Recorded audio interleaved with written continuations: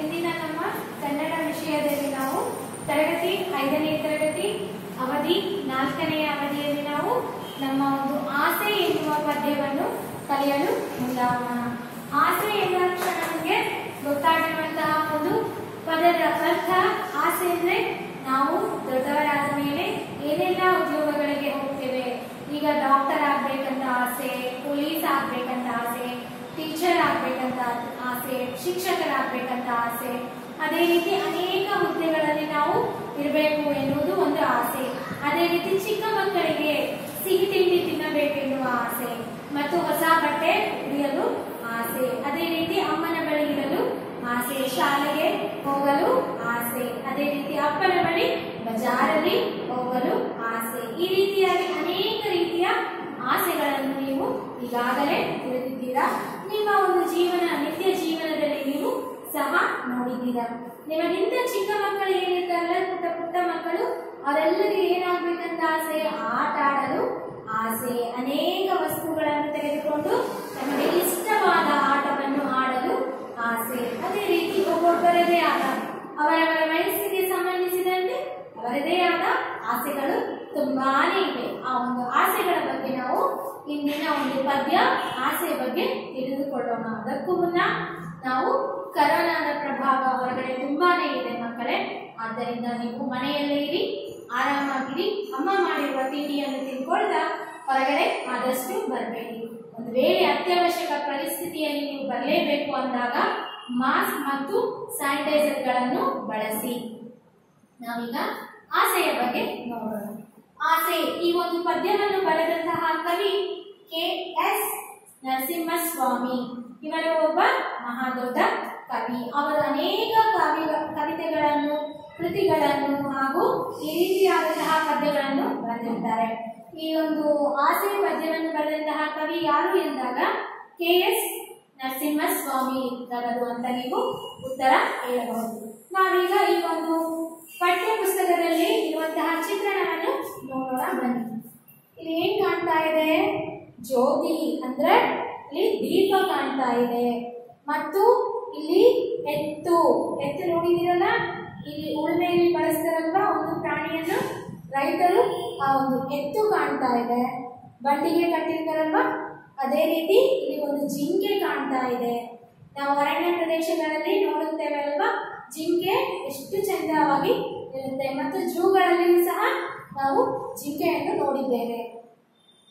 ಇಲ್ಲಿ ಒಂದು ಪಕ್ಷಿ ಕಾಣಿಸ್ತಾ ಇದೆ, ಹಕ್ಕಿ. ಪಕ್ಷಿ ಅಂದ್ರೆ ಮೇಲೆ ಹಾರಾಡುವ ಒಂದು ಹಕ್ಕಿ. ಆ ಒಂದು ಹಕ್ಕಿಯೂ ಸಹ ಕಾಣ್ತಾ ಇದೆ. ಇಲ್ಲಿ ಒಬ್ಬ ಹುಡುಗನು ಸಹ ಇದ್ದಾನೆ ಮತ್ತು ಇಲ್ಲಿ ಅನೇಕ ಹೂಗಳು ಸಹ ಇಲ್ಲಿ ಕಾಣ್ತಾ ಇವೆ. ಜಲಿ ಜಳ ಜಳ ಅಂತ ನೀರಿನ ಒಂದು ತಾಣವೂ ಕಾಣ್ತಾ ಇದೆ. ಹಾಗೂ ಹಡಗು ಸಹ ಕಾಣ್ತಾ ಇದೆ. ಈ ಎಲ್ಲಾ ಒಂದು ಚಿತ್ರಣಗಳು ನಮ್ಮ ಆಸೆ ಎನ್ನುವ ಪದ್ಯದಲ್ಲಿ ಇದ್ದಾವೆ ಆ ಆಸೆ ಎನ್ನುವ ಪದ್ಯದಲ್ಲಿ ಈ ಎಲ್ಲಾ ಚಿತ್ರಣಗಳು ಏನನ್ನು ಹೇಳ್ಕೊಡ್ತಾ ಇದೆ ಅನ್ನೋದನ್ನು ನಾವಿಂದು ನೋಡೋಣ. ಬನ್ನಿ. ಮೊದಲನೆಯ ಒಂದು ಸಾಲು.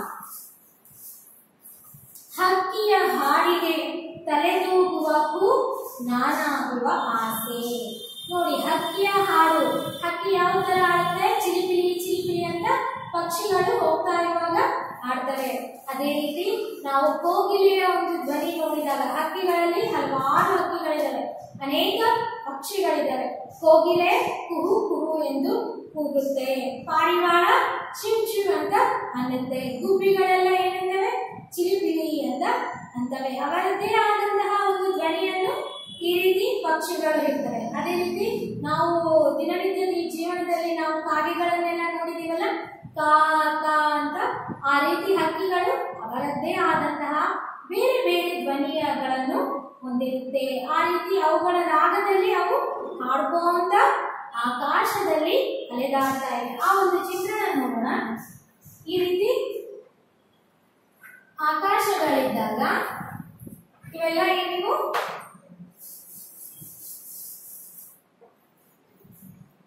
ಈ ರೀತಿ ಆಕಾಶ. ಹೌದಾ? ಆಕಾಶದಲ್ಲಿ ಮೋಡಗಳು ಯಾವ ರೀತಿ ಇರುತ್ತೆ? ಈ ರೀತಿ ಇರುತ್ತೆ.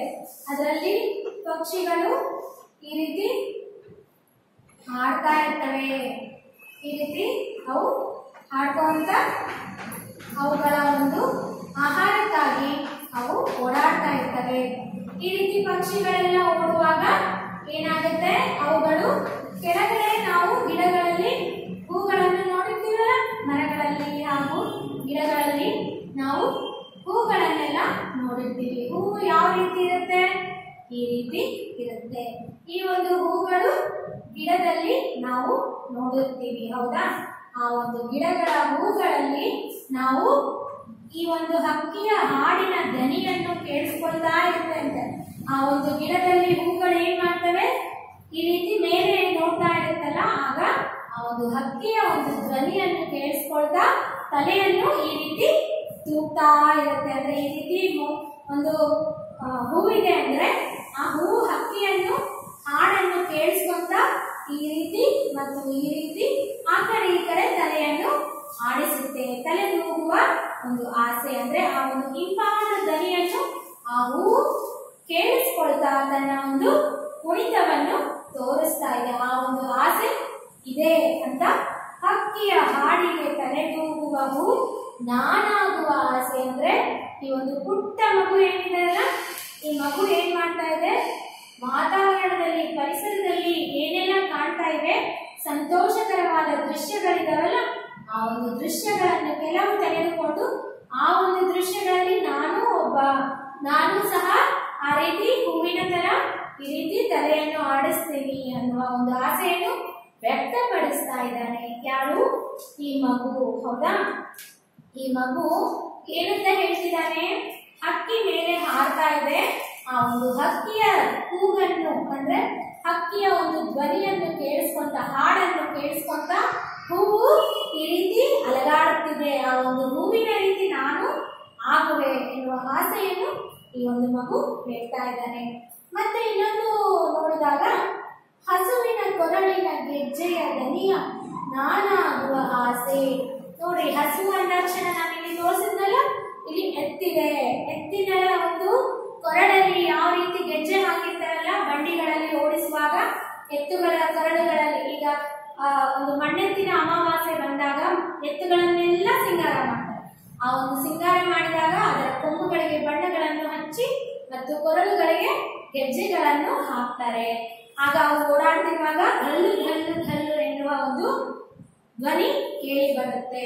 ಆ ಒಂದು ಎತ್ತುಗಳೆಲ್ಲ ಇದಾವಲ್ಲ, ಆ ಎತ್ತುಗಳ ಒಂದು ಗೆಜ್ಜೆಯ, ಕೊರಳಿನ ಗೆಜ್ಜೆಯ ಹಾರ ಇದೆ ಅಲ್ಲ ಆ ಒಂದು ಧ್ವನಿ ನಾನಾಗುವ ಆಸೆ ಅಂತ ಈ ಒಂದು ಪುಟ್ಟ ಮಗು ಹೇಳ್ತಾ ಇದೆ. ಅಂದ್ರೆ ಅವುಗಳಿಗೆ ಆ ಎತ್ತುಗಳು ಓಡಾಡುವಾಗ ಆ ಧ್ವನಿ ಜನ ಜನ ಜನ ಅಂತ ಕೇಳಿಸಿದಾಗ ಆ ಒಂದು ಸಂತೋಷಕರ ದೃಶ್ಯದಲ್ಲಿ ನಾನು ಒಬ್ಬ, ನಾನು ಆ ಒಂದು ಧ್ವನಿ ಆಗ್ತೀನಿ ಅಂತ ಈ ಒಂದು ಪುಟ್ಟ ಮಗುವಿನ ಆಸೆಯಂತೆ.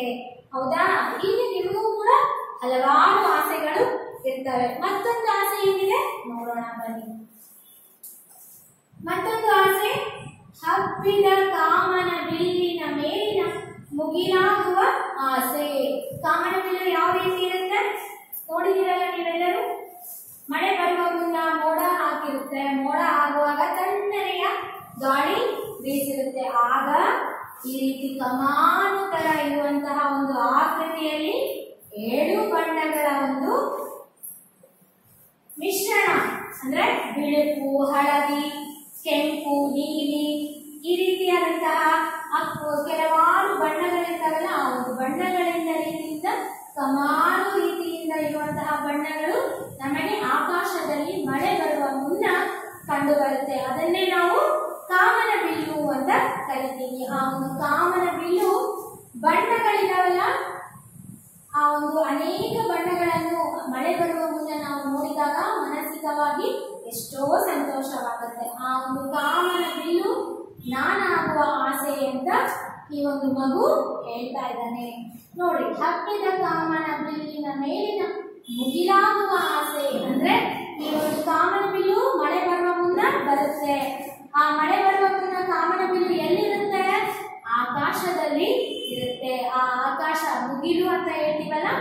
ಆಕಾಶದಲ್ಲಿ ಇರುತ್ತೆ. ಆ ಮುಗಿಲಾಗುತ್ತೀನಿ ನಾನು ಅಂದ್ರೆ ನನ್ನ ಒಂದು ಆಕಾಶದಲ್ಲಿ ಕಾಮನ ಬಿಲ್ಲಿದೆ ಅಂತ ಹೇಳ್ಕೊಳಿಕ್ಕೆ ನಾನು ಮುಗಿಲಾಗ್ತೀನಿ. ಅಂದ್ರೆ ಆಕಾಶ ಆಗ್ತೀನಿ ಅಂತ ಈ ಒಂದು ಮಗು ಹೇಳ್ತಾ ಇದ್ದಾನೆ.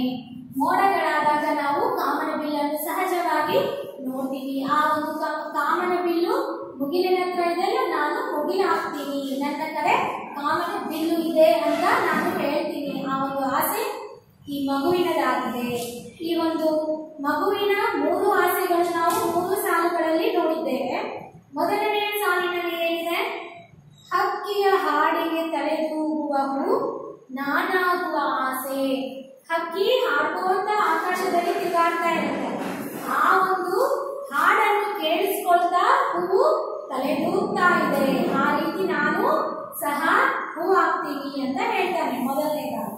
ಆಮೇಲೆ ಬೇರೆ ಏನ್ ಹೇಳ್ತಾರೆ ಹಸುವಿನ ಕೊರಳಿನ ಗೆಜ್ಜೆಯ ದನಿಯ? ಗೆಜ್ಜೆಯ ದನಿಯು ನಾನಾಗುವ ಆಸೆ. ಎತ್ತು ಅಂತ ಇದೆಯಲ್ಲ? ಎತ್ತಿನ ಒಂದು ಕೊರಳಿನಲ್ಲಿ ನಾವು ಗೆಜ್ಜೆಯ ದನಿಯು ಕೇಳಿಸ್ಕೊಳ್ತೀವಿ. ಆ ಒಂದು ಸದ್ದು, ಆ ಒಂದು ಧ್ವನಿಯು ಸಹ ನಾನಾಗ್ತೀನಿ ಅಂತ ಈ ಚಿಕ್ಕ ಮಗು ಹೇಳ್ತಾ ಇದೆ. ಈ ಚಿಕ್ಕ ಮಗು ಏನಂತ ಹೇಳ್ತಾ ಇದೆ? ತನ್ನ ಆ ಒಂದು ಎತ್ತಿನ ಕೊರಳಿನ ಗೆಜ್ಜೆಯು ಹಾಕ್ತೀನಿ ಅಂತ ಹೇಳ್ತಾ ಹಾ, ಅದೇ ರೀತಿ ಹಬ್ಬಿದ ಕಾಮನ ಬಿಲ್ಲಿನ ಮೇಲಿನ ಮುಗಿಲಾಗುವ ಆಸೆ. ಹಬ್ಬಿದ ಕಾಮನ ಬಿಲ್ಲು ಅಂತ ನಾನು ಈಗಾಗಲೇ ಹೇಳ್ತೀನಿ. ಆಕಾಶದಲ್ಲಿ ಕಾಮನ ಬಿಲ್ಲು ಹಬ್ಬಿದೆ. ಆ ಒಂದು ಆಕಾಶವನ್ನು ನಾನು ಹಾಕ್ತೀನಿ ಆ ಮುಗಿಲು ನಾನು ಹಾಕ್ತೀನಿ ಅಂತ ಈ ಒಂದು ಹುಡುಗ ಹೇಳ್ತಾ ಇದ್ದಾನೆ. ಈ ರೀತಿ ಮೂರು ಅಭಿರುಚಿಗಳನ್ನು, ಆಸೆಗಳನ್ನು ಆ ಹುಡುಗ ತಿಳಿಸ್ತಾ ಇದ್ದಾರೆ ಅದೇ ರೀತಿ, ಚಿನ್ನದ ಬಣ್ಣದ ಜಿಂಕೆಯ ಕಣ್ಣಿನ ಮಿಂಚಾಗುವ ಆಸೆ. ಚಿನ್ನದ ಬಣ್ಣದ ಅಂದ್ರೆ ಬಂಗಾರದ ಬಣ್ಣ, ಹೊಳಪಿನ ಬಣ್ಣ, ಪ್ರಕಾಶಮಾನವಾಗಿ ಇರುತ್ತೆ. ನಾವು ಆಭರಣಗಳನ್ನು ಧರಿಸಿದಾಗ ಚಿನ್ನದ ಬಣ್ಣ ನಮಗೆ ಹೊಳಪಿನ ರೀತಿಯಲ್ಲಿ ಕಂಡು ಬರುತ್ತೆ ಚಿನ್ನ ಬಣ್ಣದ ಜಿಂಕೆಯ ಕಣ್ಣಿನ ನುಡಿ. ಜಿಂಕೆ ಯಾವ ರೀತಿ ಇರುತ್ತೆ? ಬಂಗಾರದ ಬಣ್ಣದಲ್ಲಿಯೂ ಸಹ ಕಾಣಬಹುದು ನಾವು. ಅಲ್ಲಲ್ಲಿ ಚಿಕ್ಕ ಚಿಕ್ಕ ಚುಕ್ಕಿಗಳನ್ನು ಇಟ್ಕೊಂಡಿದ್ದಾರೆ. ಯಾರೋ ಹೋಗಿ ಅಲ್ಲಿ ಅಲಂಕರಣೆ ಮಾಡಿದ್ದಾರೆ ಎನ್ನುವ ರೀತಿಯಲ್ಲಿ ನಮ್ಮ ಜಿಂಕೆ ಕಂಡು ಬರುತ್ತೆ. ಇಲ್ಲಿ ನೋಡಿ ಜಿಂಕೆಯ ಒಂದು ಚಿತ್ರಣ. ಈ ಒಂದು ಜಿಂಕೆ ಅಲ್ಲಲ್ಲಿ ಬಂಗಾರದ ಬಣ್ಣದ ಒಂದು ಹೊಂದಿರುತ್ತೆ. ಆ ಒಂದು ಚುಕ್ಕಿಗಳು ಯಾರಿಟ್ಟು ಸಹಜವಾಗಿ ಪ್ರಕೃತಿಯಲ್ಲಿ ಅದು ಬಂದಿದೆ. ಅದೇ ರೀತಿ ಚಿನ್ನದ ಬಣ್ಣದ ಜಿಂಕೆಯ ಕಣ್ಣಿನ ಮಿಂಚಾಗುವ ಆಸೆ. ನೋಡಿ, ಆ ಒಂದು ದೇಹಕ್ಕೆಲ್ಲ ಚಿನ್ನದ ಬಣ್ಣ ಇದೆ ಅಂತ ಹೇಳ್ತಿದ್ದಾರೆ. ಆ ರೀತಿ ಕಣ್ಣಿನ, ಆ ಒಂದು ಮಿಂಚಿನ ಕಣ್ಣಿದೆ ಅಂತೆ. ಅದರ ಒಂದು ಜಿಂಕೆಯ ಕಣ್ಣು ಮಿಂಚುತ್ತಾ ಇದೆ ಅಂತೆ. ಆ ಒಂದು ಕಣ್ಣು ನಾನು ಹಾಕ್ತೀನಿ ಅಂತ ಈ ಒಂದು ಮಗು ಹೇಳ್ತಾ ಇದ್ದಾನೆ. ಮತ್ತು ಮುಂದಿನ ರೀತಿಯಲ್ಲಿ ನೋಡಿದಾಗ ತೋಟದ ಕಂಪಿನ ಉಸಿರಲ್ಲಿ ತೇಲುವ ಜೇನಾಗುವ ಆಸೆ ನೋಡಿ ಈಗ ಜಿಂಕೆಯ ಕಣ್ಣು ಆಗ್ತಾನಂತೆ, ಮತ್ತೆ ತೋಟದ ಒಂದು ಸುವಾಸನೆ. ತೋಟದಲ್ಲಿ ಹಣ್ಣು, ಹಂಪಲು, ಆ ರೀತಿ ಹೂಗಳು, ಅನೇಕ ರೀತಿಯ ತರಕಾರಿಗಳು ಸಹ ನಾವು ತೋಟಗಳಲ್ಲಿ ಬೆಳೆಸ್ತೀವಿ ಆ ಒಂದು ತೋಟದಲ್ಲಿ ಈಗ ಮಾವಿನ ತೋಟ ಅನ್ಕೊಂಡಾಗ ಮಾವಿನ ಹಣ್ಣುಗಳನ್ನು ನಾವು ನೋಡಿರ್ತೀವಲ್ಲ ಮಾವಿನ ಹಣ್ಣು ಅಲ್ಲಿ ಮರ ಇದೆ ಅಂದ ತಕ್ಷಣ ನಾವು ಆ ಸ- ಹತ್ತಿರ ಪರಿಸರದಲ್ಲಿ ಆ ಒಂದು ವಾಸನೆ ಸುವಾಸನೆ ನಾವು ಕಾಣಬಹುದು ಆ ಒಂದು ಕಂಪಿನ ಅಂದ್ರೆ ಹಣ್ಣುಗಳಾಗಿರ್ಬೋದು ಹೂವುಗಳಾಗಿರ್ಬೋದು ಆ ಒಂದು ತೋಟದಲ್ಲಿ ಯಾವುದೇ ರೀತಿಯ ಒಂದು ಫಲಹಾರಗಳು ಸಹ ಇರಬಹುದು ಆ ಒಂದು ಕಂಪಿನ ಅಂದ್ರೆ ಆ ಒಂದು ವಾಸನೆಯನ್ನು ಕಂಪಿನ ಅಲ್ಲಿ ಉಸಿರಲ್ಲಿ ತೇಲುವ ಜೇನಾಗುವ ಅನೇಕ ಹೂಗಳನ್ನು ನೋಡಲು ಯಾರು ಬರ್ತಾರೆ ಜೇನು ಹುಳಗಳು ಬರ್ತವೆ ಅನೇಕ ಹೂಗಳ ಬಳಿ ತುಂಬಾ ಜೇನಿನ ಹುಳಗಳು ಇರ್ತವೆ ಆ ಒಂದು ಜೇನಿನ ಹುಳ ನಾನಾಗುವ ಆಸೆ. ಅಂದ್ರೆ ಅನೇಕ ಕಂಪುಗಳನ್ನು ನೋಡಬಹುದಲ್ಲ ವಾಸನೆಗಳನ್ನು ಸೇವಿಸಬಹುದಲ್ಲ. ಆದ್ದರಿಂದ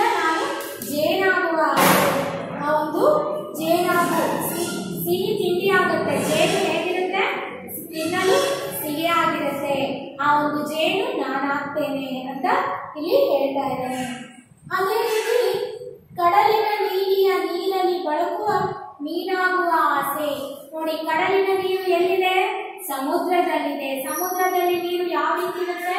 ಉಪ್ಪಾಗಿರುತ್ತೆ ನದಿಯ ನೀರು ಸಿಹಿಯಾಗಿರುತ್ತೆ. ಸಮುದ್ರದ ನೀರು ಉಪ್ಪಾಗಿರುತ್ತೆ ಕಡಲಿನ ನೀರಿನಲ್ಲಿ ಅನೇಕ ಮೀನುಗಳು ತಿಮಿಂಗಲಗಳು ಅನೇಕ ಜಲಚರ ಪ್ರಾಣಿಗಳಿದಾವಲ್ಲ, ಅದರಲ್ಲಿ ಜಾಸ್ತಿ ನಾವು ಮೀನುಗಳನ್ನು ನೋಡಬಹುದು. ಆ ಒಂದು ಮೀನುಗಳನ್ನು ನಾನಾಗ್ತೀನಿ ಅಂತ ಹೇಳ್ತಿದ್ದಾರೆ. ಆ ಒಂದು ಕಡಲಿನ ನೀರಲ್ಲಿ ಮೀನನ್ನು ನಾನು ಹಾಕ್ತೀನಿ. ಆ ಮೀನು ನಾನು ಹಾಕ್ತೀನಿ ಎನ್ನುವ ಆಸೆಯನ್ನು ಈ ಮಗು ಹೇಳ್ತಾ ಇದ್ದಾನೆ. ಅದೇ ರೀತಿ ಸಿಡಿಲಿನ ಕಾಲುವ ಬಿರುಮಳೆ ಗಾಳಿ ಗಂಜದೆ ಮುನ್ನಡೆಯುವ ಆಸೆ. ನೋಡಿ, ಬರೇ ಈ ಒಂದು ವಸ್ತುಗಳು, ಪ್ರಾಣಿಗಳು ಅಲ್ಲ. ನಾವು ಧೈರ್ಯದಿಂದ ಸಮಸ್ಯೆಗಳನ್ನು ಎದುರಿಸಲು, ಒಂದು ಶಕ್ತಿಯುತ ಬದುಕನ್ನು ಬದುಕಲು ಈಗ ಮಳೆ ಸಿಡಿಲು ಬಂದಾಗ ಢವಢವ ಎನ್ನುವ ಶಬ್ದ ಬರುತ್ತೆ. ಆ ಒಂದು ಶಬ್ದ ಬಂದಾಗ ಬೆದರದೆ, ಅಂಜದೆ ನಾವು ಅದಕ್ಕೆ ಭಯ ಪಡದೆ ಮುಂದೆ ಹೆಜ್ಜೆ ಹಾಕುವ ಒಂದು ಆಸೆ. ಅಂದ್ರೆ ಧೈರ್ಯದಿಂದ ಬದುಕನ್ನು ಸಾಗಿಸುವ ಆಸೆ ನನ್ನದು ಅಂತ ಈ ಪುಟ್ಟ ಮಗು ಹೇಳ್ತಾ ಇದ್ದಾನೆ. ಅದೇ ರೀತಿ ನಾಳೆಯ ಬದುಕಿನ, ಇರುಳಿನ ತಿರುವಿಗೆ ದೀಪವ ನೀಡುವ ಆಸೆ. ಅಂದ್ರೆ ನಾಳೆ ಎನ್ನುವ ಬದುಕಿಗೆ ಇರುಳಿನ ತಿರುಳಿಗೆ ನೋಡಿ. ಈಗ ಜನರಲ್ಲಿ ಕಷ್ಟ ಸುಖಗಳು ಸರ್ವೇ ಸಾಮಾನ್ಯ. ಇಂದಿನ ದಿನ ಸಂತೋಷದಿಂದ ಇರ್ತೇವೆ, ನಾಳೆಯ ದಿನ ದುಃಖದಿಂದ ಇರ್ತೇವೆ. ಅನೇಕ ರೀತಿಯ ಈ ಜೀವನ ಒಂದು ನಮಗೆ ಕಲಿಸಿಕೊಡುತ್ತೆ. ಒಂದಿನ ಸಂತೋಷ, ಒಂದಿನ ದುಃಖ, ಒಂದಿನ ಬೇರೆ ಬೇರೆ ರೀತಿಯ ವ್ಯತ್ಯಾಸ ಕಂಡು ಬರುತ್ತೆ ಆದರೆ ಕಷ್ಟ ಕಾಲ ಬಂದಾಗ ನಾವು ಅಂಜದೆ ಹಿಂದಿರುಗದೆ ನಾವು ಮುಂದೆ ಹೋಗುವ ಒಂದು ಆಸೆ ಆ ಒಂದು ഇരുಳು ಬಂದಾಗ ಬಂದಾಗ ನಾವು ದೀಪವನ್ನಿಟ್ಟುಕೊಂಡು ಬೆಳಕನ್ನು ನೋಡ್ತೇವೆ. ಆ ರೀತಿ ನಮ್ಮ ಬದುಕಿನಲ್ಲಿಯೂ ಸಹ ಕಷ್ಟಗಳು ಬಂದಾಗ ಹಿಂಜರಿಯದೆ ಭಯ ಪಡದೆ ನಾವು ಮುಂದೆ ಸಾಗಬೇಕು. ದೀಪವನ್ನಿಟ್ಟುಕೊಂಡು ನಮ್ಮ ಒಂದು ಸಾಧನೆಗಳನ್ನು ತೋರಬೇಕು ಎನ್ನುವ ಆಸೆ ಈ ಒಂದು ಪುಟ್ಟ ಮಗುವಿನದು. ಆ ಮಗುವಿನ ಆಸೆಗಳು ಇದೆಲ್ಲವುಗಳು ಆಗಿವೆ. ಇದರಲ್ಲಿ ನಾವು ಚಿನ್ನದ ಬಣ್ಣದ ಜಿಂಕೆಯ ಕಣ್ಣಿನ ನೋಡಿದ್ದೇವೆ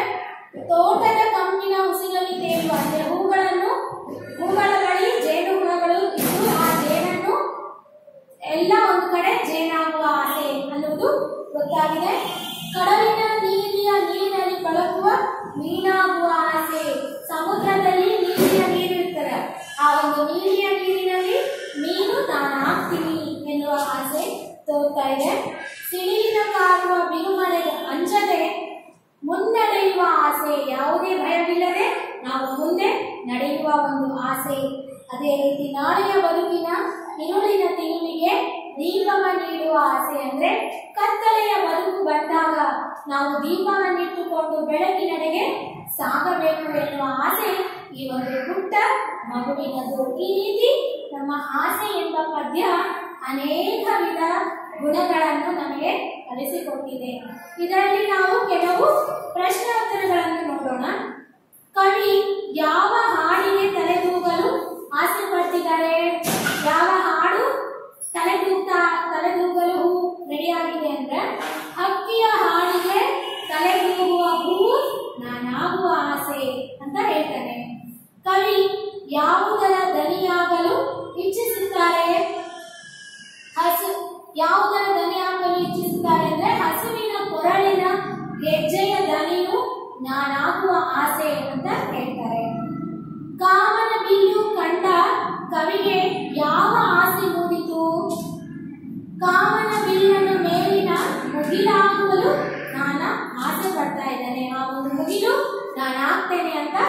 ಹೇಳ್ತಾ ಇದ್ದಾರೆ. ಜಿಂಕೆಯ ಬಣ್ಣ ಯಾವುದು? ಬಂಗಾರದ ಬಣ್ಣ. ಕವಿ ಜೇನಾಗಲು ಆಸೆ ಪಟ್ಟಿದ್ದು ಏಕೆ? ಆ ಒಂದು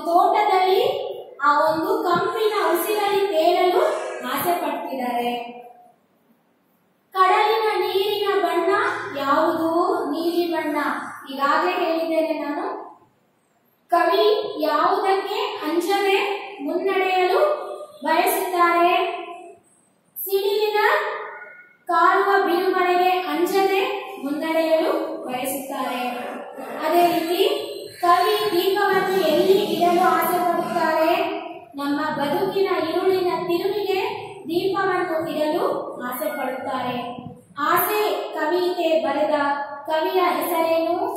K S Nisar Narasimha Swamy. K S Narasimha Swamy. ಕವಿಯಂತೆ ನೀವು ಏನಾಗಲು ಆಸೆ ಪಡುತ್ತೀರಿ ಎನ್ನುವುದು ಇವತ್ತಿನ ಒಂದು ಚಟುವಟಿಕೆ. ನೀವೇನಾಗಲು ಮುಂದೆ ನಿಮ್ಮ ಜೀವನದಲ್ಲಿ ಏನಾಗಬೇಕು ಅಂತ ಆಸೆ ಪಡ್ತಾ ಇದ್ದೀರಿ? ಆ ಒಂದು ಉತ್ತರವನ್ನು ನೀವು ಬರೆದು ನಮಗೆ ಸಂಪರ್ಕ, ನಮ್ಮ ಸಂಪರ್ಕ ಸಂಖ್ಯೆಗೆ ವಾಟ್ಸಪ್ ಅನ್ನು ಮಾಡಿ ಧನ್ಯವಾದಗಳು